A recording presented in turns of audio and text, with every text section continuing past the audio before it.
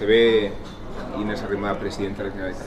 Pues creo que es una posibilidad muy clara y creo que Ciudadanos tiene que gobernar Cataluña y otro proyecto tiene que gobernar Cataluña. Y tengo la confianza de mis compañeros para liderar esta, esta lista. Estoy convencida de que lo podemos hacer. Lo que sí que es verdad es que la gestión del día 1 de octubre por parte del Gobierno de España para mí ha sido un fracaso, porque se ha visto cómo sí que han utilizado eh, el gobierno independentista aulas públicas para hacer una consulta ilegal, ha utilizado dinero público para hacer una consulta ilegal, ha utilizado datos personales de los catalanes de manera ilegal, ha habido cargas policiales, o sea que todo ha sido un fracaso, que el 1 de, de octubre era una excusa para declarar la independencia, que es lo que quieren hacer esta semana y lo que dice su propia no ley del no referéndum, pero que es una declaración política. Es decir, ellos no se presentaron a las elecciones con un referéndum, se presentaron con una declaración de independencia. Cuando vieron que les quedaba grande, dijeron vamos a buscarnos una excusa, una coartada, y, organizaron el 1 de octubre, que evidentemente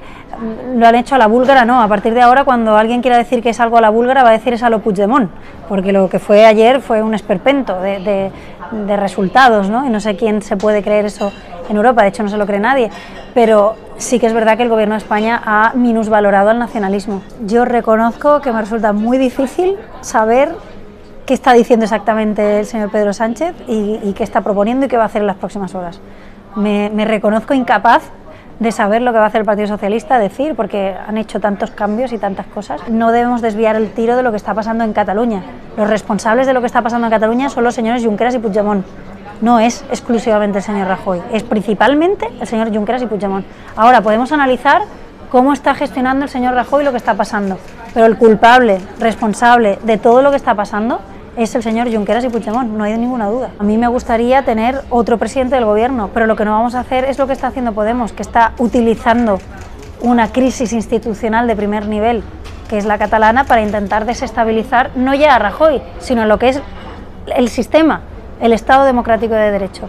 Nosotros no vamos a caer en eso.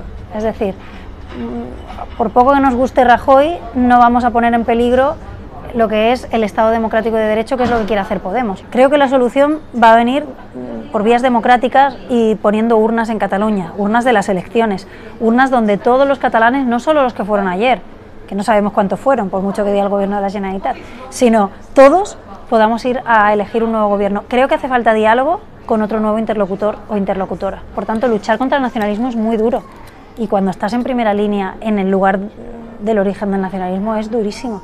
Pero hemos sabido superarlo en la Unión Europea, estoy convencida que lo superaremos en España.